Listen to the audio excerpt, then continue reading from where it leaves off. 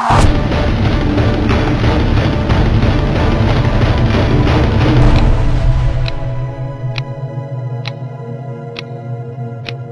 Salam, hər vaxtınız xeyirli olsun əziz tamaşaçılar. Müzakirə saatında xoş gördük hər birinizi.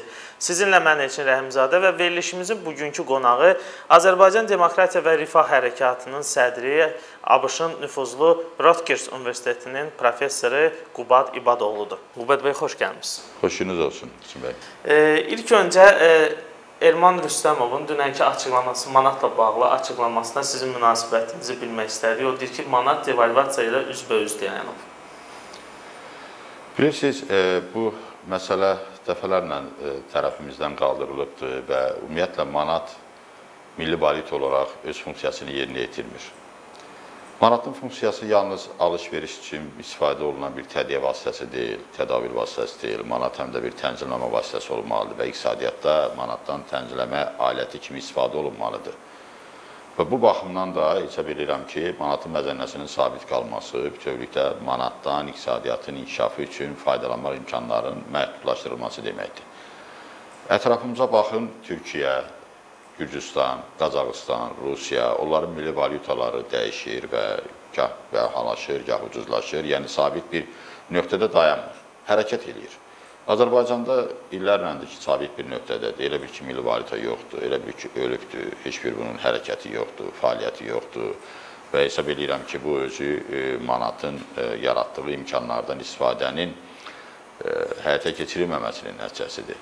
Manat xarici ticarət üçün əhəmiyyətli bir tənzimləmə vasitəsidir. Əgər bir ixalı artırmaq istəyiriksə, o zaman manatın sabit qalması və bahalaşması buna stimul verir. Əgər biz ixracatı artırmaq istəyiriksə, xüsusilə də bu çox önəmlidir. Qeyri-neft ixracatının inkişafı istiqamətində Azərbaycan müəyyən bir strategiya götürübdür. İqtisadiyyatın şaxələnməsi istiqamətində də bəzi addımlar atıbdır, amma bu addımları manat vasitəsilə tamamlamayıblar və bu günləri manatın sabit qalması həm də ixracatın sütunlaşmasının qarşısını almaq deməkdir. Yəni ixracatçılar yalnız ixracdan gəlir əldə edirlər. Onlar manatın məzənnəsindən isə bəzi hallarda isə məzənnə dəyişlərinə görə zərərlərlə üzləşirlər.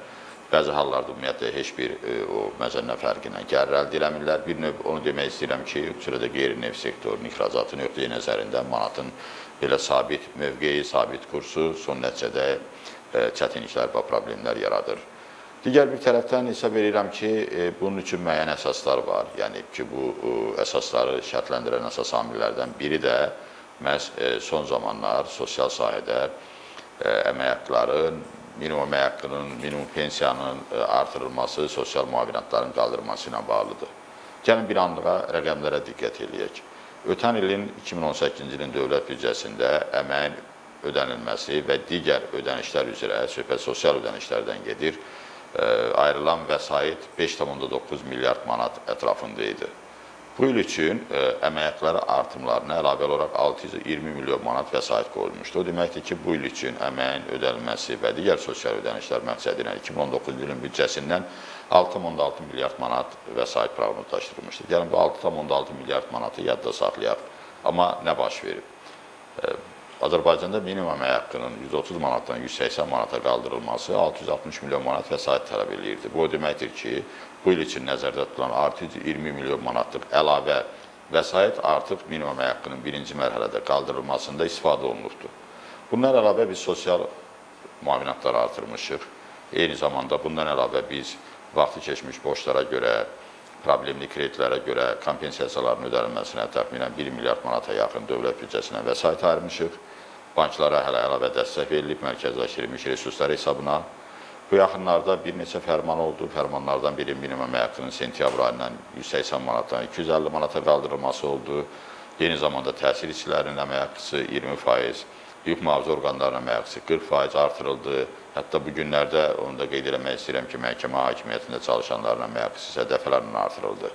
Hesablamalara görə yalnız təhsil işçilərinin əmək haqqlarının 20% və minimum əmək haqqının 180 manatdan 250 manata kimi artırılması sentyabr ayından başlayan 4 ay ərzində 1 milyard 25 milyon manat vəsait tələb eləyir. Və bunu biz gələn ildən il üçün tətbiq eləməliyik. Bu il 4 ayını biz 250 manatdan ödəyirik, amma gələn il bütövlükdə 250 manatdan minimum əmək haqqı hesablanmalıdır. Təsəvvür edirsiniz ki, bu 1,25 milyard manat qurulmalıdır 3 ay. Çünki gələn 4 aydan ibarət deyil, axı 12 aydan ibarətdir. 12 ayda 4 aydan 3 dəfə çoxdur. Və onu vuranda 3 milyard 75 milyon manat eləyir. Əlavə olaraq hüquq mühafizə orqanlarının əmək haqqlarının 40% artırılması təxminən bir 500-600 milyon manat vəsait tələb eləyir. Məhkəmə hakimiyyəti işçilərinin əmək haqqlarının artırılması bir demək olar ki, bir 100-150 e, milyon dollar vəsait aparacaq. Yəni e, bütün bunlarla yanaşı məcburi köçkünlərin sosial ödənişləri artıbdır. Mən bütün bunların hamısını təqdir eləyirəm və hesab eləyirəm ki, bunlar çoxdan baş verməlidir. Ümumiyyətlə bu dediklərim heç biri əməkdaşların, pensiyaların və bütövlükdə götürəndə minimum əmək haqqının sosial müavinətlərin ödənişinin əleyhinə deyil. Əksinə mən istərdim ki, Azərbaycanın əmək haqqı göstəriciləri həm minimum səviyyədə, həm orta səviyyədə daha yüksək olsun. Amma bunu qarşılamaq üçün müvafiq büdcə lazımdır. Əvvəlki ilin büdcəsini nəzərə alsaq, bu iki artımlar da onun üzərinə gəlsək, belə çıxır ki, 2020-ci ildə Azərbaycanda əməyin ödənilməsi və digər sosial ödənişlər üzrə ayrılacaq vəsait 12 milyard manat ətrafında olmalıdır. Bununla yanaşı, Azərbaycan 2020-ci ildən məcburi tibbi sığortaya keçir. Yəni, bu tibbi sığorta həm də dövlət hesabına müəyyən xərclər qarşılanır. Artıq bu il üçün hazırlıq xərcləri 262 milyon manat nəzərdə tutulubdur. Növbəti il içində Çox güman ki, tibbi sığorta xərcləri 1 milyard ətrafında olacaq. 1 milyard da bunun üzərinə gələndə 13 milyard sosial məqsədlər üçün Azərbaycan Respublikasının büdcəsinin xərcləri təşkil edəcək. Və e, bu 13 milyardın 6 milyardı indiyə qədər var idi. İndi onun üzərinə biz 7 milyarda gəlməliyik və söhbət bu 7 milyardın hardan götürülməsindən gedir. Bilirsiniz, e, ölkədə e, vəsait mənbələrinə diqqət yetirəndə neftdən gələn gəlirlərdir, gömrükdən daxil olmalardır və bir də ki, vergi ödənişlərdir. İndi gömrük son zamanlar sahibkarları sıxır, gətirdikləri mallara yüksək belə deyək ki, gömrük dəyəri müəyyənləşdirir. Bəzən 1,5 dəfə, bəzən 2 dəfə belə deyək ki, artıq qiymət, invoice qiyməti ilə müqayisədə tətbiq eləyir və ona görə tətbiq eləyir ki, nə qədər gömrük dəyəri yuxarı olarsa, bir o qədər də ondan çox rüsum ödənilir. O cümlədən rüsumla gömrük dəyərinin birgə məbləğindən də 18% əlavə dəyər vergisi hesablanır. Və bu da dövlət büdcəsinə gömrük daxil olmalarını artırmağa istiqamətlənən bir qərardır. Amma sahibkarları da məhv etməyə gətirib çıxaran bir qərardır. Eyni zamanda Azərbaycanın daxili bazarında ithal malların qiymətini bahalaşdıran əsas səbəblərdən biri də budur. İndi gömrükdən tutaq ki, belə e, bu iki səviyyəsində növbəti ildə proqnozlaşdırıldı vəsait daxil olması. Vergidən də bu illəri vergi ilə bağlı nəzərdə tutulan e, yeni dəyişiklərin heç biri tətbiq olunmadı. Çünki e, artıq vergi Nazirliyi özü də etiraf elədi ki, yeni dəyişikləri tətbiq eləmək mümkün deyil, köhnə qaydalarla işləyirlər. Hətta yeni dəyişiklər tətbiq olunsa da vergidən ciddi artım gözlənilmir. Və belə olan halda biz neftdən gələn gəlirləri artırmalıyıq. Və bu il üçün bilirsiniz, bu təxminən 12 milyard manata yaxındır. Növbəti il üçün biz bunu heç olmasa qaldırmalıyıq. Bir 15 milyarda ki, 15 milyard transfer olmalıdır dövlət neft fondundan dövlət büdcəsinə ki, bu xərcləri ödəyək. Və bütövlükdə dövlət büdcəsində 25 milyarddan 30 milyarda qaldırmalıyıq ki, bu xərclər ödənilsin.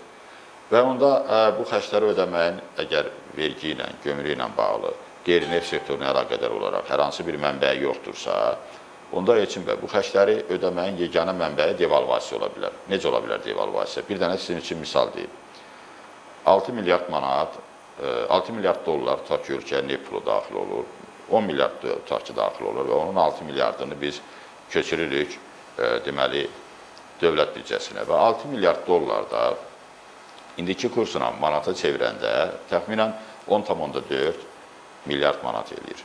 İndi bir anlığa təsəvvür eləyək ki, devalvasiya getdi və artıq 2 manat 1 dollar oldu. 2 manat 1 dollar olanda neft pulu olan 6 milyard dollar olacaq 12 milyard. Və sadəcə olaraq devalvasiya özü təxminən 1,6 milyard manat havayı pul qazandırdı büdcəyə. Və ona görə də mən düşünürəm ki, vəziyyətdən çıxış üçün devalvasiyaya gedəcəklər. Və bu devalvasiyanın getməmək, getməmək mümkün deyil. Əlavə vəsait mənbələri yalnız nə ola bilər? Deyək ki, bu hakimiyyətin yüksək vəzifəli, yüksək çinli şəxslərin, oliqarxların vəsaitləri ola bilər. Onlar da öz vəsaitlərini gətirib büdcəyə verəsi deyirlər və cəmaat əmək haqqı ödəyicisi deyirlər. Ya da ki, başqa variant ondan ibarətdir ki, əmək haqqlar ödənilə bilmir, gecikdirilir və indiki halda bu da sosial narazılığın daha da artımına gətirib çıxara bilər. Ona görə düşünüblər ki, yəqin ki, devalvasiya getsinlər. İstənilən halda mən hesab edirəm ki, bu son zamanlar verilən qərarlar iqtisadi baxımdan əsaslandırılmış qərarlar deyil. Hələ bunun başqa fəsadları da olacaq. Fəsadlarından biri ondan ibarətdir ki, qiymətlərin bahalaşmasına gətirib çıxaracaq. Artıq biz bunu müşahidə edirik. Bəli. Kənd sərvəti məhsullarının qiymətləri kifayət qədər mövsüm dövründə əgər digər e, e, digər demək olar ki, illərlə müqayisə etsək kifayət qədər yüksəkdir. İndi qəpiyə e, yəni ki, nə pomidor, nə xiyar, nə də ki, də ki, e, digər e, meyvə məsələn deyək ki, ərik almaq mümkün deyil, şaftal almaq mümkün, hamısı manatlandır. Bəli. Amma ə, mövsüm dövründə biz həmişə pomidor da, xiyarı da qəpiyə almışıq. O cümlədən meyvələr də qəpiyə düşübdür, alması da, armudu da. Bu il daha çox nəzərə çarpır. Bu, bu illəri hamısı manatdan başlayır. Hətta əriyin qiyməti 3 manat, 4 manat. Bəzən görsən o gilasın qiymətini görmüşəm 5 manata. Yəni ki, bu hakimiyyətdə oturanlar bu qərarları qəbul edənlər ömür billatda dükana, bazara getməyiblər. Biri onların səbətini daşıyır, o birisi alışın verişini eləyir. Onların dünyadan xəbəri yoxdur. Otururlar orada rahat kondisionerli otaqlarda ancaq belə ə, e, düşünülməmiş, əsaslandırılmamış qərarlar verirlər. Bilmirlər ki, cəmaətin vəziyyəti necədir. Mən artıq burada bir 10 gündür e, dəfələrlə rastlaşmışam ki, ahıl yaşda bizim nənələrimiz, eyni zamanda babalarımız e, görürsən ki, qurban olun, başına dönüm, mənə 20 qəpik ver, mənə çörək pulu ver. Bu vəziyyətə gətirib çıxarıblar. Çünki qiymət bahadır, verilən pensiya onu ödəmir və insanlar aldıqları pensiya üçün pensiya hətta deyək ki, bir 5 manat, 10 manat artırıldı. O e, qiymətin artımından onlara dəyən ziyanı belə kompensasiya eləmək imkanında deyil və belə də yaşam şərtləri çətinləşir. Yaşam şərtləri çətinləşir. Nədən qiymətlər bahalaşır və bu da bir fəsadıdır hər halda. Bir gözlənti yaranır istehlakçıda. Gözlənti ondan ibarətdir ki, artıq sentyabr ayından əmək haqqları artacaq, minimum əmək haqqı 250 manat olacaq, əlavə vəsait çıxacaq dövrüyə, bəri başdan bəzi e, deyək ki, e, siyasi spekulyasiyaya gedənlər, iqtisadi spekulyasiyaya gedənlər artıq qiymətləri diktə eləməyə başlayırlar. Digər bir tərəfdən mövsümi amillərin təsiri ilə qiymətlərin bahalaşmasının ikinci dalğası yəqin ki, sentyabrdan sonra başlayacaq, oktyabra, noyabra təsadüf eləyəcək. Bu bir fəsadıdır. İkinci bir fəsad ondan ibarətdir ki, dövrəyə külli miqdarda ə, demək olar ki, nağd vəsait çıxacaq. Məsələn, və qeyd elədim ki, yalnız təhsil işçilərinin əmək haqqının artırılması və minimum əmək haqqının 180 manatdan 250 manata qaldırılması 1 milyard 25 milyon manat əlavə vəsait tələb edir 4 ay üçün və bu vəsait nağdlaşdırılmış vəsait olacaq, çünki əmək haqqı şəklində ödəniləcək. Və son nəticədə bu dövriyədən, həm də banklardan kənar nağdı pul vəsaitlərinin həcmini də artıracaq və bu da gizli iqtisadiyyatı stimullaşdıracaq. Yəni bütün bunları nəzərə almaqla daha düzgün qərarlar qəbul etmək mümkün idi. Təəssüflər olsun ki, e, bizim təkliflərimiz də eşidilmir, nəzərə alınmır. Məsələn, mən düşünürdüm ki, bu qərarlar hamısı minimum istehlak səbətinə, yaşayışının insanların minimum dəyərinə uyğun olmalıdır və hazırda yaşayışın minimum dəyəri ötən il qəbul edilmiş səviyyədədir. Halbuki qiymətlər də bahalaşıb, eyni zamanda ödənişlər də artıbdır. Yeni Azərbaycanda əmək qabiliyyətli əhali üçün, pensiyaçılar üçün, eyni zamanda uşaqlar üçün keçən il qəbul edilmiş yaşayışın minimum dəyəri nəzərdə tutulur. Onlar regionlar üzrə fərqləndirilmir, onlar uşaqların yaş qrupları üzrə fərqləndirilmir. Dəfələrlə təkliflər veririk. Təəssüflər olsun ki, Nazirlər Kabineti çox zəif işləyir. Əslində bunlar Nazirlər Kabinetinin səlahiyyətində olan məsələlərdir. Məsələn, bu günə qədər hələ bu ilin birinci yarısının e, sosial-iqtisadi e, nəticələrinə və Nazirlər Kabinetinin qarşısına duran vəzifələrə həsr olunmuş müşavirə keçirilməyib. Adətən bu müşavirələr bu ayın əvvəlində olurdu. Çünki 6 ay bu ayın e, demək olar ki, əvvəlində başa çatırdı. Məsələn, keçənləri iyulun 8-də olubdu. Ondan əvvəlki il iyulun 12-sində olubdu. Ondan əvvəlki il iyulun 11-də olubdu. İndi e, iyulun 26-sı, bugün 27-sidir. 27-sidir hələ e, bu ilin birinci yarısı ilə bağlı Nazirlər Kabinetinin e, deməli qarşısında duran vəzifələrə, sosial-iqtisadi nəticələrə həsr olunmuş müşavirə yoxdur. Bu həmişə İlham Əliyevin sədrliyi ilə həyata keçirilirdi. İndi bilmirəm hansı səbəbdən bunu keçirmirlər, nədən ləngiyir. Amma bunun da bir mənfi təsirləri var da. Əgər digər nazirliklər görəndə ki, Nazirlər Kabineti öz işinin öz tərzindən gəlmir və vaxtında hesabat xarakterli, deyək ki, belə müşavirələri keçirmir, onlar da özləri də vaxtında hesabatlarını açıqlamırlar. Məsələn, e, Azərbaycan Dövlət Neft Fondunun hələ ötən il 2018-ci il əhatə edən hesabatı dərc olunmayıbdır. Söhbət hələ bu ilin birinci yarısından getmir. E, ötən ilki hesabatı üstündən artıq demək olar ki, 7 ay keçib, 7 ay başa çatır. Hələ də dərc olunmayıbdır. Niyə hesabatlıq aşağı düşür, şəffaflıq aşağı düşür və bu baxımdan da iqtisadiyyatın idarə edilməsində belə problemlər yaranır. Siz də qeyd etdiniz, banklara borclu ordusu yaranmışdı və prezidentin sərəncamı ilə bu qismən həll olundu bu məsələ. Amma hələ də banklarda böyük faizlər, yüksək faizlər qalmaqdadır və yeni borclu ordusunun yaranması ehtimalı var. Sizcə banklardakı faizlər nə qədər olmalıdır ki, həm bundan əhali və həm də sahibkarlar bundan bir xeyir götürə bilsin? Heçim bəy, ötən illəri Azərbaycan Dövlət Neft Fondunun e, idarə etdiyi valyutanın həcmi 38 milyard dollar olubdur. Qazandığı bilirsiniz nə qədər olubdur? İllik qazancı 0,35% olubdur. ya bu resurs yoxdursa, deyərik ki, ona görə bahadır. Bizim resursumuz var. Niyə bunu ə, Mərkəzi Bank vasitəsilə, mərkəzləşdirilmiş resurslarla, güzəştli şərtlərlə, uzun müddətli kreditlərə yönəltmirlər, mən başa düşmürəm. Yəni özləri 0,35% qazanırlar, amma Azərbaycan xaricdən qazanırlar 0,35%. Yəni onu idarə edənlər Azərbaycan Dövlət Neft Fonduna ortalama götürəndə illik 0,35% ödəniş eləyibdir. Amma Azərbaycan daxilində e, yenə də kreditlər 20%-nin üzərindədir və bundan hansı biznesi qurmaq olar, hansı işi görmək olar.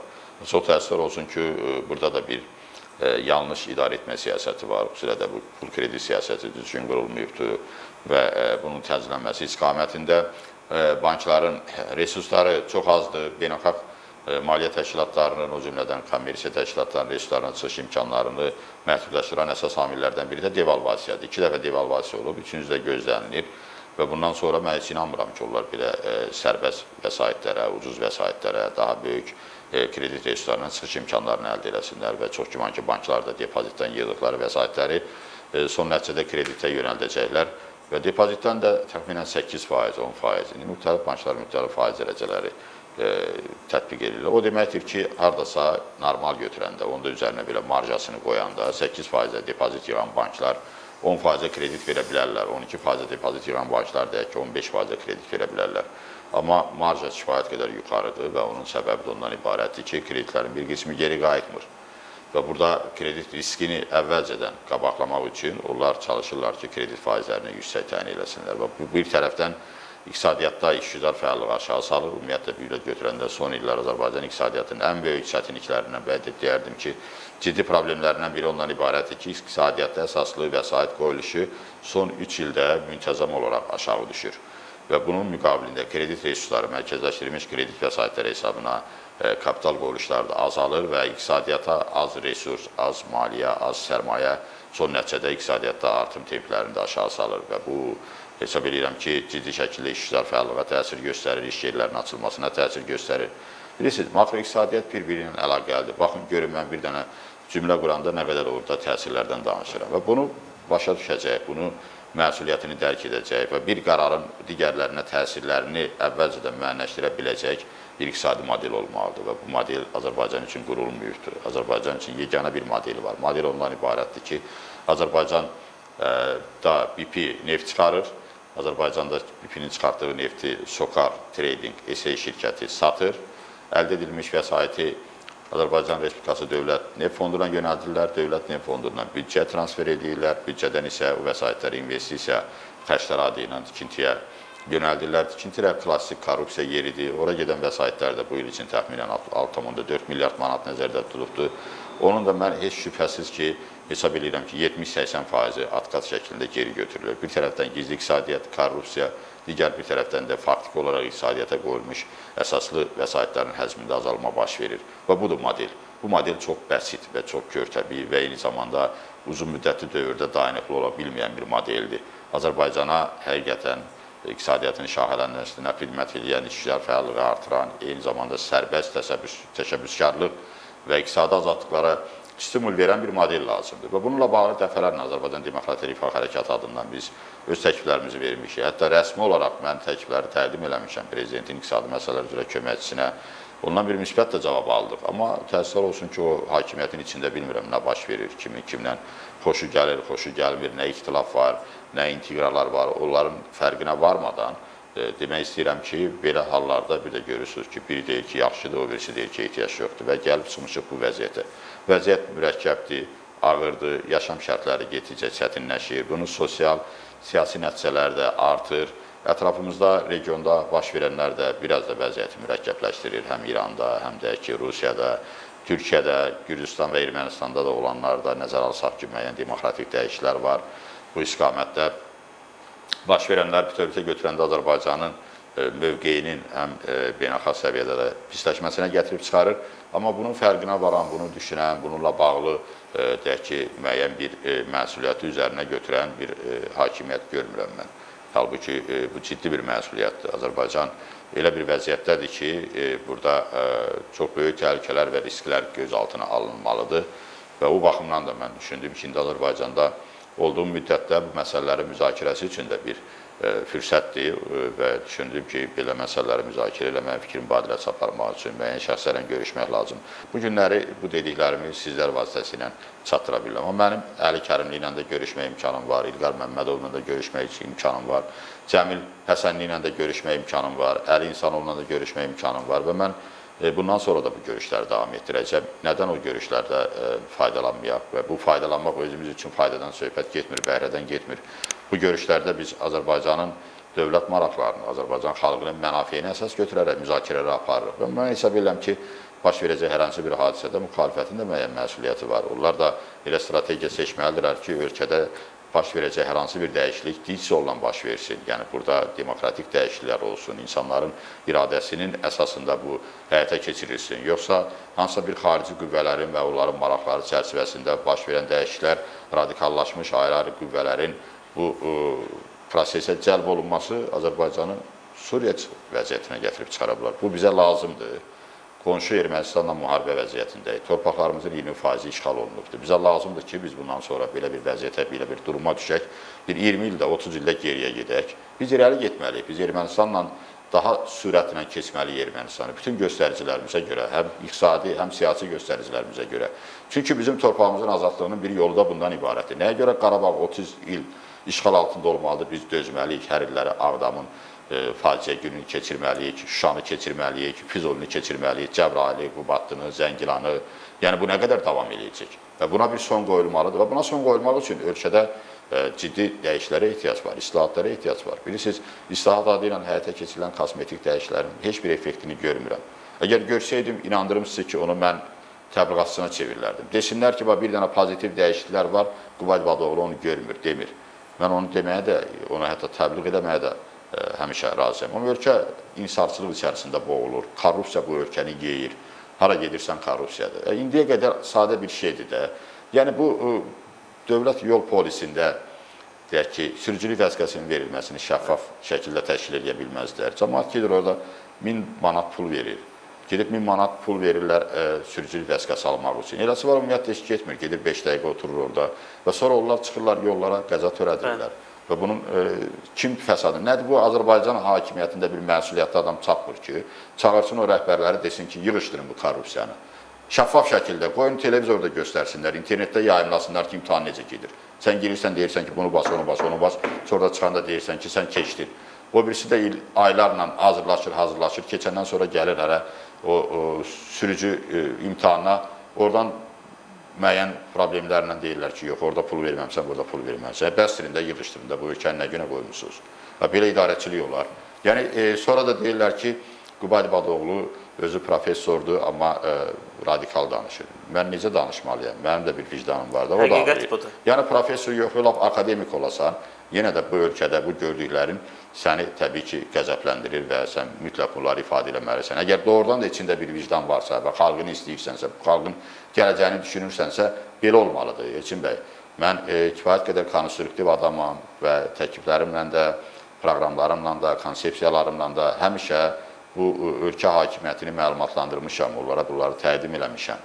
Amma təəssüflər olsun ki, hakimiyyətin elə bir ki, belə bir e, hakimiyyət belə görsənir. Mən sizə açığını deyim. Elə bir ki, bu hakimiyyətin, daha doğrusu Azərbaycanın sahibi bir adamdır, prezidenti başqa adamdır.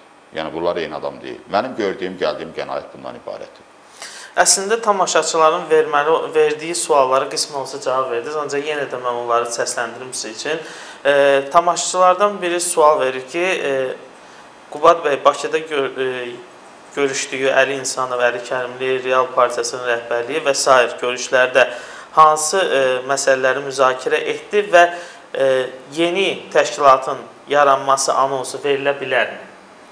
Bilirsiniz, mən burada hansısa bir institusional qurum yaratmaq üçün deyiləm. Mənim üçün ən vacib məsələ odur ki, Azərbaycanda hakimiyyətin də strategiyası düz olsun, o cümlədən müxalifətin də strategiyası düz olsun və son nəticədə hər iki strategiyanın hədəfi olan Azərbaycanın inkişafına nail olaq.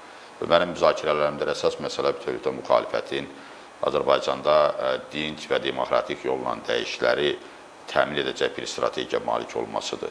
Mən e, ölkə iqtisadiyyatının durumunu yaxşı bilirəm, siyasi proseslərdə iştirak edirəm, beynəlxalq e, təcrübəni öyrənmişəm və kifayət qədər e, deyərdim ki, bu istiqamətdə gedən proseslərə töhfə vermə imkanlarım var və niyə onu verməyim? Niyə biz bu müzakirələrdə ə, Azərbaycandakı mövcud durumu dəyərləndirib gözlənilən ssenarilər ətrafında fikir mübadiləsi aparmayaq və bizim görüşümüzün də əsas ə, müzakirə predmeti bunlardan ibarət olubdur və bir daha bütün izləyicilərə tam əminliklə bizi dinləyən həm də hakimiyyət nümayəndələrinə kitabən demək istəyirəm ki, narahat olmayın. Harda Qubad İbadoğlu var, harda mənim iştirakımla görüş var. Onlar açıqdır, şəffafdır, hesabatlıdır. Orada dövlətin marağı var, orada xalqın mənafiyi var. Orada Azərbaycanın gələcəyinə yönələn hansısa bir yaxşı bir təşəbbüs olacaq. Orada Azərbaycanın hesab edirəm ki, bütün problemlərinin həlli istiqamətində də müəyyən bir e, əlavə bizim e, töhfəmiz olacaq. O baxımdan narahat olmayın və buna görə e, hesab edirəm ki, başladığınız o qara PR-ı da dayandırın ayrı-ayrı qəzetlərdə mənim əleyhimə yazılar, bunu Sorosla əlaqələndirmək, bunu Amerikanın bir e, projesi hesab eləmək və mənim gizli missiyamla danışmaq yersizdir və yanlışdır. Mən heç vaxt gizli görüşlər keçirmirəm, heç bir missiyanı da həyata keçirmək niyyətində deyiləm.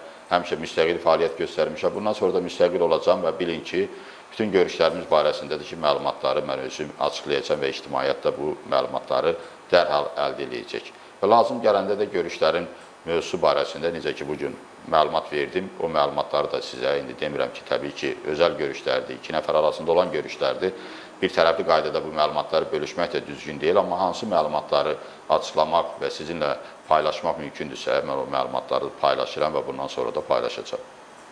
Növbəti sual belədir. E, tamaşaçımız yazır ki, kifayət qədər nüfuzlu və hörmət etdiyimiz bir iqtisadçı kimi istərdi ki, Qubad bəy Rövnəq Abdullayevin saat məsələsi, SOCAR-ın külli miqdarda borcunun olmasını və rəsmi qurumların Hesablama Palatası, Vergilər Naziri və digərlərin buna susqunluq nümayiş etdirərək cəmiyyətə saymamazlıq etməsini şərh edərdi. Elə bizim e, hörmətli dinləyicinin sualında e, kifayət qədər bu məsələlərə həm də münasibət var, yəni bir şərh var. Əvvəla təşəkkür edirəm ki, bu məsələni qaldırır. Həqiqətən Azərbaycanda indiki gerçəklər çərçivəsində Azərbaycanın dövlət neft şirkətinin prezidentinin oğlunun 2,5 milyon manatlıq e, saatın oğurlanması bir rəzalətdir. Yəni bunu e, hər birimiz dəyərləndirməliyik və çox təəssüflər olsun ki, bununla bağlı heç bir açıqlama verilmədi. Nə bunu təksib elədilər, nə bunu təsdiq elədilər, nə bununla bağlı bir izahat verdilər. Amma bu mütləq açıqlanmalı idi, buna mütləq şərh verilməli idi. Bilirsiniz, Azərbaycan dövlət neft şirkəti özəl şirkət olsaydı, onun oğlu 2,5 milyon yox, hətta deyim ki, 25 milyonluq saat taxsaydı və onu kimsə oğurlasaydı, kimsə aparsaydı, heç mənim heç belə deyərdim ki, fərqinə varmazdım. Deyərdim ki, özəl şirkətdir, vergisini ödəyir, atası qazanır, balası da xərcləyir. Burada nə var ki? Amma Azərbaycan dövlət şirkəti, neft şirkəti, dövlət neft şirkəti dövlət şirkətidir. Adından da göründüyü kimi. Və dövlət şirkətinin əməkdaşları rəhbərlərinin də bəllidir. Eyni zamanda dövlət şirkəti həm də e, hesabatlı olmalıdır, ictimaiyyət üçün açıq olmalıdır, şəffaf olmalıdır. Amma bu günləri biz onu Azərbaycan Dövlət Neft Şirkətindən görmürük və Azərbaycan Dövlət Neft Şirkəti külli miqdarda borclanmaya gedibdir və bu borclar artıq 10 milyard manata yaxınlaşır. Təbii ki, Bu hələ bizim bildiyimiz borclardır. Öhdəliklər yalnız bunlardan ibarət deyil. Amma bilirsiniz ki, Azərbaycan Dövlət Neft Şirkətinin borclarının əsas qaytarılma illəri 2021 və 2022-ci illərdir və bu ölkədə əgər neft hasilatı indiki səviyyə və ondan aşağı düşərsə və eyni zamanda dünya bazarında deyək ki, İran məsələsi, Liviya məsələsi, Venezuela məsələsi həll olunandan sonra neft qiymətlərindəki sabitlik yaranarsa, uzlaşma baş verərsə, Mən bəri başdan proqnoz edə bilərəm ki, 2021-2022-ci illərdə dövlət neft fondu batacaq. Çünki onların bu günləri iqtidarı yoxdur ki, onlar o vəsaitləri geri qaytarsınlar. Siz bilirsiniz 2018-ci ilin e, dövlət büdcəsinin icrası ilə bağlı hesabatdan göründüyü kimi dövlət neft şirkəti dövlət büdcəsinə verdiyindən çox dövlət büdcəsindən alıbdır. Tək dövlət neft şirkəti yox, Azəriqaz e, onun içərisində və eyni zamanda Azər e, Enerji, Azərsu, dəmir yolları Təsəvvür edirsiniz, biz qazandığımızı qaza veririk, biz qazandığımızı elektrikə veririk, biz qazandığımızı suya veririk. Son nəticədə hələ bu qədər xalqdan, bu qədər istehlakçıdan, bu qədər şirkətlərdən pul yığan bu dövlət şirkətləri hələ son nəticədə dövlət büdcəsindən də verdiyindən çox, ödədiyindən çox vəsait götürürlər. Bu, bu idarə etmə də çox pis idarə etmədir. Ümumiyyətlə Azərbaycanda dövlət şirkətlərinin, eyni zamanda Xəzər dəniz gəmiçiliyinin, Azalın özəlləşdirilməsinə gedilməlidir. Birbaşa özəlləşdirmə olmasa da idarəçiliyə verilməlidir. Burada investisiya müsabiqələri ilə sağlam investor gəlməlidir. O sərmayə qoyulmalıdır. Dövlət həm sərmayə qoyur, bunlar həm xaricdən kredit alırlar. Sonra gelib dövlət büdcəsindən vəsait götürüb ehtiyaclarını ondan ödəyirlər. Belə idarəçilik dünyanın heç bir ölkəsində yoxdur və bu şirkətlər zərərlə işləyir böyük əksəriyyəti. Bu qədər vəsait yığırlar. Gündən-günə qiymətlər bahalaşır, tarif şurası görürsünüz hansı səviyyə qaldırıbdır, həm elektrikin qiymətini, həm qazın qiymətini. Əhali bunu ödəmək iqtidarında deyil, amma məcburdur ödəməyə, çünki başqa alternativ yoxdur, ödəməsə onu kəsirlər.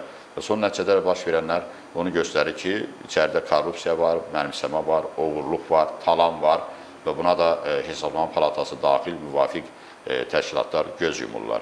Ona görə ki, islahat yoxdur. İslahat olsa oğurluq olmazdı. Siz inandırım ki, əgər Azərbaycan Beynəlxalq Bankı özəl bank olsaydı, oradan 4 milyard dollar heç kəs oğurlaya bilməzdi illərlə. Özəl bank olsaydı, özəl bankın sahibləri var, səhmdarları var. Eyni zamanda özəl bankın müşahidə şurası var, nəzarət eləyir fəaliyyətinə. Dövlətin olduğuna görə, Maliyyə Nazirliyi öz funksiyasını düzgün yerinə yetirmədiyinə görə, çünki Maliyyə Nazirliyi həm də müşahidə şurasının sədri idi Maliyyə Nazirliyi. Ona görə orada o qədər böyük oğurluq oldu. İndi SOKAR götürək. Sokar niyə getmirsən səhmləşdirməyə? Get səhmləşdirməyə həm əlavə sərmayə qəbul elə, həm də hesabatlıq artsın, şəffaflıq artsın. Niyə Kazmulayqaz Qazaxstanda səhmləşdirib Kazmulayqazın səhmlərini e, London birjasından almaq olur, Tokyo birjasından almaq olur, amma Sokarın səhmdarları yoxdur. Sokarın bir dənə səhmdarı var, o da dövlət.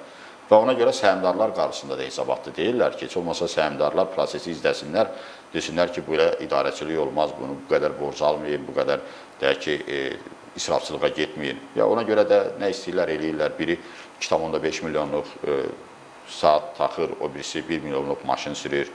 Başqa birisi e, özünə 100 dənə e, deyək ki, mənzil alır Bakı şəhərində, gedirlər xaricdə villalar alırlar. Hamısı da, hamısı da dəyərsizləşən pullardır.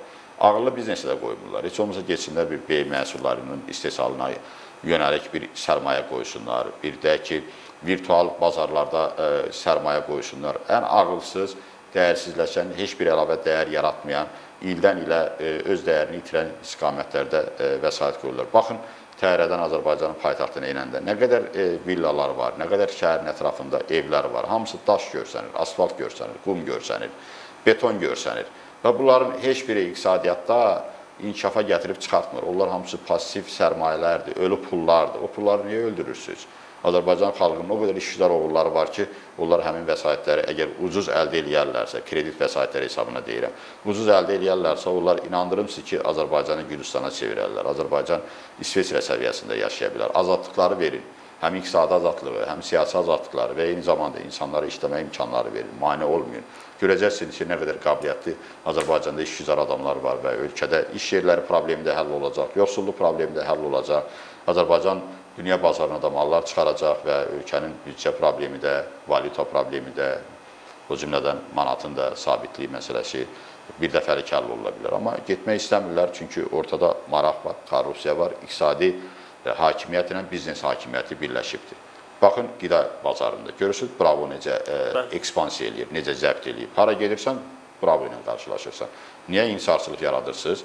Sabahları onlar istədikləri qiymətləri diktə eləyəndə, sabotaj eləyəndə, hər hansı bir məhsulun ölkəyə gətirilməsində problem yarananda buna kim cavabdeh verəcək? Niyə bazarda, əgər iqtisadiyyatda şaxələnmədən söhbət gedirsə, niyə bizim üçün strateji bazar olan qida məhsulları bazarında şaxələnmə yoxdur? Ayrı-ayrı şirkətlər məhv olur, bağlanır, sıradan çıxır, iş yerləri e, bağlanır və eyni zamanda qida təhlükəsizliyi problemi var. Bir dənə şirkətin əlində olanda, tək əldə olanlar ən ucuz, ən keyfiyyətsiz malları gətirib ucuz qiymətə satacaqlar, cəmaət də məcburdur almağa, amma insanlar arasında nə qədər xəstəliklər yayılıbdır. Xüsusilə də xərçlən xəstəliyi. Onun mənbəyi nədir? Sağlam olmayan qidadır. Və buna görə də e, hesab edirəm ki, yenə də reformaya getmək lazımdır. İnsarçılıqla qarşı mübarizə güclənməlidir. Korrupsiya aradan qaldırılmalıdır. Və bunlar sadə formullardır. Bunlar böyük belə çətin mürəkkəb şeylər deyil. Bunu bir adam istəsə, bir adam istəsə ölkənin prezidenti buna nail olmaq olar. Ona görə mən deyirəm ki, kənardan görsənən ondan ibarətdir ki, Azərbaycanın sahibi bir adamdır, prezidenti başqa adamdır. Mən başa düşmürəm. Yəni danışıqlarla hərəkətlər arasında bir əlaqə olmalıdır, yoxsa yox. Mən bu əlaqəni tuta bilmirəm. Bəlkə Azərbaycan xalqının elə bir istedadlı nümayəndəsi var, prezidentin çıxışı ilə baş verənlərin arasında bir əlaqə tapsın, desin ki, həqiqətən deyilənlər düzdür. Niyə yalan danışırsınız? Bu yalanlar nə qədər davam edəcək? İnanmırlar sizə. Sizin televiziyalarda çıxışlarınıza heç kəs qulaq asmır. Buna görə ki, hamı bilir ki, bu gerçəklik deyil, yalandır, düz danışır, nə var onu deyil. Və eyni zamanda xalqın içində olun, xalqın problemlərini dinləyin və e, gedin onları həll edin. Məsələn, mən gələndən indi müxtəlif adamlarla təmasda oluram da, dünən bir nəfərlə görüşmüşəm. Deyir ki, prezident aparatından gəldim, ondan əvvəl Karusellə mübarizə idarəsinə getdim. Adamlar, şikayətçilər o qədər çoxdur ki, düşüb onları dinləyən də yoxdur. Orada hamı söyür, hamı biabır eləyir. Elə bir vəziyyət yaradıblar ki, içində. Hamı istəyir ki, ölkədən geçsin. Hə. Gedirlər, gedənlərin də bir qismi başlayır oradan Azərbaycanı söyməyə. Mənim klass leksiyonumda heç vaxt söyüş olmayıb və olmayacaq da. Ölkədən kənarda da olsam, daxildə də olsam. Amma bunu siz yaradırsınız da. Və söyüş ritorikası ilə siz danışırsınız və ölkədən gedənlər də bezirlər, ölkədə nə qədər əziyyət çəkirlər, ölkədən çıxandan sonra bir sərbəstlik görürlər, bir azadlıq görürlər və elə bil ki, hayıflarını alırlar. Onlar da hərəsi bir internet televiziyası ilə başlayırlar Azərbaycanda ki, mövcud qüvvələri radikallaşdırmağa, söyüşləri artırmağa, onun təsirlərini gücləndirməyə. Baş verənlər bundan ibarət və Azərbaycan reallığı budur. Bunu bir düşünmək, bunu bir müzakirə eləmək lazımdır. İndi niyə narahatsınız ki, mən belə şeyləri müzakirə eləyirəm də? Mən də Azərbaycan vətəndaşıyam. İstənilən şəxs ilə görüşmək imkanım var hüququm var, haqqım var. Sizin də mənə sözünüz var, gəlin görüşək. Gəlin belə internet televiziyalarında görüşək. Açıq şəkildə səmimi olaraq debatlara çıxaq, siyasi debatlara, iqtisadi debatlara. Göndərin gəlsin ən güclü iqtisadçılarınızı, ən güclü siyasətçilərinizi oturaq üzbəyiz və elə bu Kanal 13-ün televiziyasında e, biz burada izləyicilərin qarşısında canlı şəkildə e, öz debatımızı quraq. Mən hazıram şəxsən. Gəlmişəm, burdayam sizlə istənilən debata, istənilən müzakirəyə də həmişə e, canlı efirdə hazıram. Biz də Kanal 13 olaraq bu şəraiti yaratmağa çox şad olardıq. Əgər qarşı tərəf razı olsa, belə deyək. E, Qubad bəy, e, sualım belədir. Siz Qarabağ problemini e, getdiyiniz bütün ölkələrdə e, təbliğ etməyə, onun həqiqətlərini dünyaya çatdırmağa çalışan bir şəxs kimi E, orada tədbirlərdə, konfranslarda olan həmsöhbətlərinizlə söhbət edərkən onlar Qarabağın probleminin həll olunmamasını nədə görürlər? Çünki e, son günlər Paşinyan sırf əsas səbəbi ölkə başçısında İlham Əliyev də görür, e, bizim hakimiyyətdə Ermənistan e, baş nazirliyində görür. Siz bunu necə dəyərləndirirsiniz? Bilirsiniz, Qarabağ probleminin həlli üçün Azərbaycanın haqq səsini ən yüksək tribunlardan çatdırmaq lazımdır. Və təəssüflər olsun ki, Azərbaycan o yüksək tribunalardan da o qədər yalanlar danışıb ki, Azərbaycana inanan yoxdur. Və mən təbii ki, e, müstəqil şəxsə və eyni zamanda özüm də Qarabağlıyam və mənim doğulduğum, boya başa çatdığım e, el də, oba da işğal altındadır və o baxımdan Qarabağ məsələsi mənim üçün bir nömrəli məsələdir, harda olmamdan asılı olmayaraq. Məsələn, Brüsseldə may ayının 13-də Şərq tərəfdaşlıq proqramının 10 illik yubileyi ilə bağlı keçirilən tədbirlərdə niyə Azərbaycan Xarici İşlər Naziri çıxış eləmirdi. Gəlib orada e, mən oturub deyək ki, Ermənistanın Xarici İşlər Naziri e, Zöhrab bilmirəm. Nasaqin. Hə, ona mən ona qulaq asmalıyam. Nəyə görə onun ə, ölkəsi haqqında yaxşı şeyləri eşitməliyəm? Gəlin siz də danışın da. Niyə qaçırsınız o müzakirələrdən? O vaxt Qarabağ problemi həll olunacaq ki, o müzakirələrdə həqiqətən də debatlar olacaq. Ölkə daxilində də, eyni zamanda kənarda da ə, e, Azərbaycanın səsi eşidiləcək, haqq səsi qaldırılacaq. Və mən şəxsən həmişə çalışmışam ki, onu qaldırım və istənilən yerdə e, ermənilərlə müzakirəyə də getmişəm, mübahisəyə də getmişəm.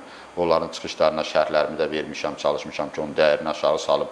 Və siz niyə bunu eləmirsiniz? Azərbaycan hakimiyyətinin nümayəndələri gedirsiniz, görüşürsüz, bağlı qapılar arxasında ictimaiyyətin də xəbəri yoxdur ki, nə danışdınız, necə danışdınız və nələr öhdəlik götürüldü və problemin biri də ondan ibarətdir ki, bu şəffaf deyil, hesabatlı deyil, açıq deyil. Azərbaycan xalqı bilmir ki, onu təmsil edənlər Qarabağla bağlı hansı müzakirələr aparırlar. İndi prezidentlər bir-birlərini ittiham eləyir. Mən düşünürəm ki, əksinə e, Ermənistanda baş verən dəyişiklik Qarabağ probleminin həlli istiqamətində müəyyən imkanlar yaradır. Əvvəl hakimiyyətdə Ermənistanda kimlər idi? Quldur Qarabağlılar idi, Koçaryan idi, Sarkisyan idi. Onlar ümumiyyətlə Qarabağ məsələsində heç bir güzəştdən söhbət eləmirdilər. Və indiki halda e, onlar kənardadılar, hakimiyyətə təsir imkanları yoxdur. Qarabağ klanı orada tamam bu idarəçilikdən e, ayrılıbdır və biz də ə, e, hara gedirik deyirlər ki, Ermənistan demokratləşibdir, Ermənistanda inqilab oldu, bir nəfərin bunu da qaramada, Azərbaycan yenə də avtoritar ölkə olaraq fəaliyyətini davam etdirir. Budur bizim ən böyük fərqimiz. Və ondan da bizim əleyhimizə istifadə edirlər. Deyirlər ki, Qarabağlılar da erməni Qarabağlardan söhbət gedir. Yəni onlar demokratik Ermənistanda yaşamaq istəyirlər, avtoritar Azərbaycanda yaşamaq istəmirlər. Biz niyə demokratikləşməyək? Nədir problemimiz? Yəni bu demokratiya üçün hazırsınızsa açın qapıları da, pəncərələri də və verin insanlara azadlığı da. Özünüz də e, kifayət qədər əlinizdə resurslarınız var, maliyyə resursları, informasiya resursları. Çıxın sağlam rəqabətə, siyasi debatlara və başlayın ölkədə demokratik e, düşüncə tərzinin formalaşdırmasına, insanlarımız inkişaf eləsin. İnsanlarımız da geri qalıb. Bilirsiniz, ermənilər gedirlər, adi, sadə insanları belə xaricdə təbliğatlar aparırlar. Amma bizimkilər gedirlər xaricdə bir diaspora qura bilmirik biz. Bəli. Nə qədər parçalanıblar. İndi e, bizim dostumuz Anar bəy özü də Almaniyada yaşayır. Yəni Anar bəy özü Avropada baş verənləri çox gözəl bilir. Mən də Amerikada baş verənləri çox gözəl bilirlər. Bir dənə New York şəhərində 5 dənə Azərbaycan təşkilatı var. Bir-birini görməyə gözləri yoxdur. Tədbirləri bir-birinin acığına keçirirlər. Birinin tədbirinə gedənə o birisi çağırmır ki, o bizdən deyil, o düşməndir. Hə belə e, belə vəziyyətdə biz Qarabağı geri qaytara biləcəyik. Dünyanın bütün problemləri Amerikada həll olunur. Siyasi mərkəzdir. Siz də orada bir e, Azərbaycan kimi, bir diaspora kimi bir güc mərkəzinə çevrilin, gedin senatorla danışın, gedin e, deyək ki, konqresmenlə danışın. Mən demirəm, e, bu getsinlər ölkə səviyyəsində, heç olmasın da özlərinin bələdiyyə səviyyəsində, özlərinin şəhər səviyyəsində, özlərinin bir ştat səviyyəsində senatorla görüşsünlər, desinlər ki, bax Azərbaycan cəmiyyəti burada 500 üzvümüz var, onun 100 dənəsi Amerika vətəndaşıdır. Bu 100 səs deməkdir. Senator, mənim sənə 100 dənə səsim var. Gəl burada söhbət eləyək. Sən də Xocalı soyqırımı ilə bağlı məsələ qaldır. Sabahları bir mənalı şəkildə seçkilərdə Azərbaycan diasporası sənə səs verəcək. Belə gedir də müzakirələr. Amma bizim diaspora o 100 dənə e, deyək ki, Azərbaycan vətəndaşı 5 yerə bölünübdür.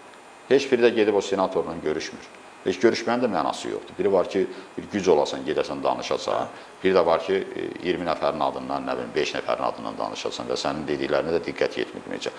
Bunu etmək üçün o boyda diaspora üzrə dövlət komitəsi qurublar, büdcə veriblər.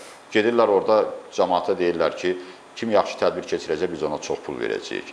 Ona görə başlayırlar parçalanmağa ki, 5-6 dənə təşkilat olsun ki, diasporadan biz daha çox pul alaq. Yəni ki, bu pul məsələsi də bilirsiniz də millətin zəif yeridir burada olmağından, orada olmağından asıl olmayaraq, harda oldu olsun elə pul adı gələndə hamı çalışır ki, nəsə pul qazansın. Bir ölkənizin problemlərini düşünün. Biraz e, bir ətrafa baxın, görün başqaları necə eləyir, ermənilər necə e, diaspora qrupdur, necə lobbiçilik fəaliyyəti ilə məşğuldurlar. Bunun üçün heç Ermənistan dövləti 1 manat da ödəniş eləmir. Əksinə o diaspora Ermənistanda demokratik dəyişikliklər üçün dəstək oldu, maliyyə resursu göndərdi. Amma siz oturmusunuz orada bir-birinizi bəyənmirsiniz, bir-birinizi qəbul eləmirsiniz, biriniz Qarabağla bağlı bir əhəmiyyətli bir görüş keçirmirsiniz senatorla, konqresmenlə. Nə olsun Novruz bayramında hamı yığılır bir yerə və yaxud da ə, e, deyək ki, Azərbaycanlıların həmrəylik günündə yığışırsınız, yeyirsiniz, içirsiniz, dağılışıb gedirsiniz qrup-qrup. Bundan diaspora olar. Bu, bu, bu artıq iş deyil. Bu sadəcə olaraq elə bayaq dediyim pul Formal. məsələsidir. Qubad bəy, e, siz özünüz e, konfliktin həllini nədə görürsünüz? Çünki e, belə deyim, Müdafiə Nazirliyi e, naziri və Xarici İşlər naziri e, vəziyyətin beynəlxalq e, vəziyyətlə uyğun gəlmədiyini, yəni Azərbaycanın torpaqlarını sülh yolu ilə deyil, silah yolu ilə ala bilməməsinin səbəbini beynəlxalq vəziyyətdə görür.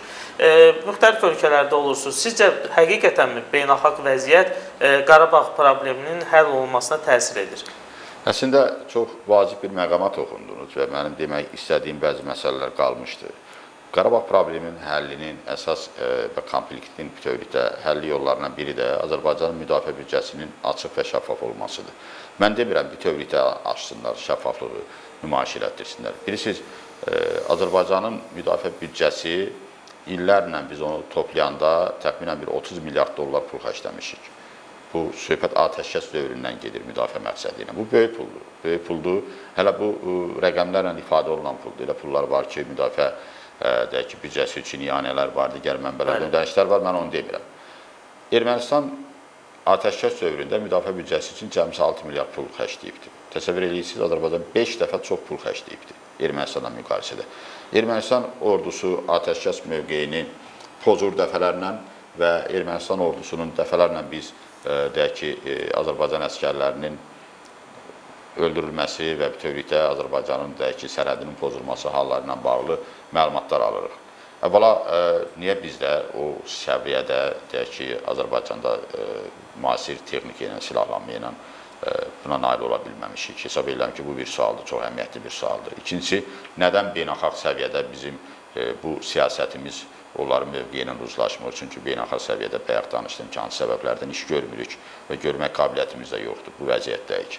Və beynəlxalq səviyyədə Azərbaycanın haqq sözünü demək daha asandır. Çünki Ermənistan işğalçıdır, Azərbaycan işğalçı deyil və biz zərər çəkənik. Bunu məhkəmələrə qaldırmaq olar, bununla bağlı ciddi müzakirələr təşkil etmək olar.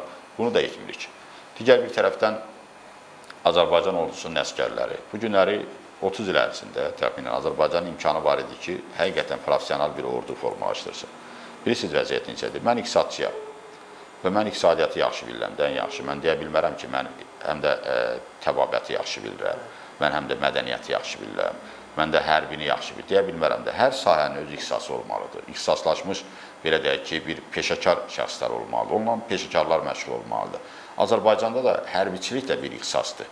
Yəni bu günlər 18 yaşında sən Azərbaycan gəncini aparırsan, qoyursan o döyüş mövqeyində və Allah uzaq eləsin, Allah rəhmət eləsin bütün şəhidlərimizə və bir neçə gündən sonra onun ə, həlak olması xəbərin bütün Azərbaycanı sarsıdır. Nə qədər ə, oğulları biz itirmişik bu atəşkəs dövründə. Çünki bəziləri ə, bu hərbiçi deyil, peşəkar deyil və bizə peşəkar ordu yaratmaq lazımdır və peşəkar ordunu yaratmaq üçün nəyimiz çatmır? Maliyyə resursumuz var, ən böyük büdcə bizdə, ən yaxşı deyək ki, bunların dediyinə görə mən inanmıram, açıqlasınlar, görsünlər, görək necə ola bilər. Nətər ola bilər? Mi-29-u 20 il bundan əvvəl istifadə edirdilər. İndi bizim e, pilot getdi Mi-29 ilə e, həlak oldu. Allah rəhmət eləsin. Mi-29 zamanıdır. Mi-29 zamanıdır. İndi Mi-29 qaldı Sovet dövründəyik. Hansı texnika ilə biz hava ə, e, məkanını qoruyuruq? Və bu köhnə texnikalarla nə vaxta qədər biz Rusiyanın bizə sırdığı texnikalarla Azərbaycanın müdafiə sənayesini formalaşdıracağıq? Peşəkar ordu olmalıdır və müasir texnika ilə silahlanmış ordu olmalıdır. Müdafiə büdcəsi şəffaf olmalıdır, hesabatlı olmalıdır və beynəlxalq səviyyədə də e, bizim haqq sözümüzü çatdıracaq institutlar olmalıdır. E, və bu institutlar diaspora da ola bilər, bu institutlar beynəlxalq təşkilatlar da ola bilər, eyni zamanda ayrı-ayrı şəxslər də ola bilər və bütün bunlar konfliktin həlli üçün çox əhəmiyyətli məsələlərdən biridir. Bir də Azərbaycanda güclü vətəndaş yetişməlidir. Bilirsiniz, zəif vətəndaş bu problemi həll edə bilməyəcək. Yeməyini düşünən, e, dolanışığı çətin olan, yaşam şərtlərinin altında sıxılan, əzilən, günü güzaranı pis olan, yəni ki, bu xalqa, e, demirəm, dövlətə, bu hakimiyyətə qəzəbi olan adamlarla bu prosesi həll etmək, adamlar elə təmin olunmalıdırlar ki, Azərbaycan vətəndaşları elə yaxşı təmin olunmaya da layiqdirlər. Ölkəyə 150 milyard neft pulu gəlibdir son 15 ildə. Eyni zamanda 250 milyard ölkəyə sərmayə qoyulubdur. İkisi bir yerdə 400 milyard dollar pul eləyir. Amma Azərbaycan vətəndaşları aclıq və səfalət içərisindədir, işsizlik içərisindədir. Mən bura gələndən nə qədər müraciətlər almışam ki, insanlar iş axtarırlar, deyirlər ki, bəlkə bir tanışın olar, oğlum oxuyub, əlində diplomu, illərlə də iş tapa bilmirlər. Və bu sistemi yaradırıq biz ölkəmiz üçün.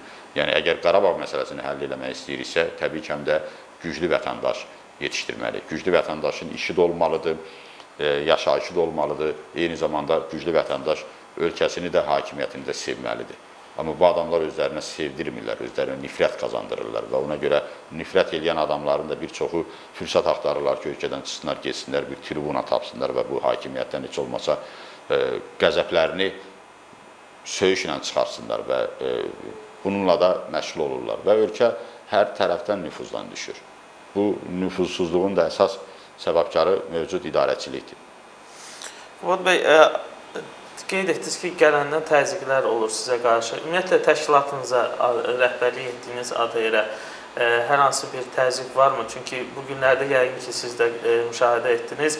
Azərbaycan Xalq Hərəkatının ə, məclisinə basqın edildi. Müsavatın qərargahında marafona basqın edildi polis tərəfindən. Sizin təşkilata qarşı hansı baskılar var? Əvvəla deyim, deyim ki, e, təşkilatın ofisi, eyni zamanda mənim yaşayış yeri, mənim hərəkətim tam nəzarət altındadır. Video kameralarla izlənir. Hətta bura gələndə də arxamıza adamlar göndərilir. Yəni tam belə total olaraq e, izlənmə, dinlənmə, telefon danışıqlarım hamısı dinlənir burada. E, digər bir tərəfdən e, mətbuatda e, qara PR, yəni ki, mənim haqqımda e, bilirsiniz ki, düzgün olmayan e, uydurma e, məsələlər çap olunur və indiki halda e, mən bunu həm də öz ə, belə deyim ki, şəxsimə qarşı həm təhqir, həm də belə deyərdim ki, təzyiq kimi qiymətləndirirəm. Çünki orada elə hallar var ki, mən onunla heç biri ilə razılaşmıram. Onlar hamısını inkar edirəm. Mənim Soros fondu ilə nə əlaqəm var? Mənim Amerikanın gizli qurumları ilə nə əlaqəm var? Mən ə, bir e, elmi pedaqoji fəaliyyətlə məşğul oluram. Burada imkan verərdiniz, burada o işləri görərdim və o işimdən də çox ləzzət alıram. Çünki tələbələri hazırlayıram, onlara elm verirəm, bilik verirəm, onlara iqtisadiyyat öyrədirəm. Mənim işim bundan ibarətdir və eyni zamanda mən bu ölkənin vətəndaşıyam. Heç kəs mənə qadağan edə bilməz ki, bu ölkədə siyasilərlə görüşmək olmaz, siyasətdən danışmaq olmaz və mən indiyə qədər danışıqlarım hamısını açıq şəkildə heç bir gizli belə deyim ki, formada çatdırmamışam. İndi sizə də sərbəst danışıram. Bundan sonra da danışacağam və hesab eləməsinlər ki, belə yazılarla mənə qarşı qara PR kampaniyası ilə yəqin ki, bu getsə genişlənəcək və eyni zamanda məni izləməklə, məni dinləməklə, mənim ofisimi nəzarət altında saxlamaqla ki, ora kim gəlir, kim gedir, buna nail ola bilməyəcəklər. Və imkan versinlər biz də bir vətəndaş kimi, bir elm adamı, bir siyasət adamı, bir ictimai xadim kimi öz ölkəmizin inkişafı üçün edə biləcəyimizi edək. Ömür çox qısadır. Bilmək olmur ki, nə qədər yaşayacağıq, nə qədər yaradacağıq. Amma bu günləri bizim yaşadan, yaradan və Azərbaycanı bu fəlakətdən çıxaran və xilas edən bir vaxtımızdır və nə qədər Azərbaycanın nicatı var, onun üçün də çalışmalıyıq. Hər birimizin məsuliyyəti var və bərbaşdan deyim ki, mən də bu məsuliyyətimi dərk eləyərək bu istiqamətdə fəaliyyətimi elə bundan sonra da gücləndirmək niyyətindəyəm. Fuad bəy, təşəkkür edirəm, vaxt ayırıb suallarınızı cavablandırdınız. Çox sağ olun, mən də sizə təşəkkür edirəm. Eyni zamanda izlədikləri üçün də dəyərli tamaşaçılara minnətdaram. Çox sağ olun, hörmətli tamaşaçılar. Çox sağ olun. Kanal 13 belə bir tribuna verdiniz ki, mən də bu gün öz fikirlərimi sizin vasitənizlə, ictimaiyyətlə bölüşə bildim. Sağ olun, yeni görüşlərədək. Bu günlük bu qədər əziz tamaşaçılar. Sonda xatırladım ki, kanalımızın Facebook və Instagram səhifələrinə hacker hücumu baş verib və bunun nəticəsində biz həmin səhifələri itirmişik. Buna etiraz əlaməti olaraq kanalımızı dəstək olmaq üçün YouTube üzərindən kanalımıza abunə olun. Xatırladım ki, bugünkü qonağımız Azərbaycan Demokratiya və Rifah Hərəkatının sədri, ABŞ-ın nüfuzlu Rutgers Universitetinin professoru Qubad İbadoğlu idi. Sağ olun, salamat qalın.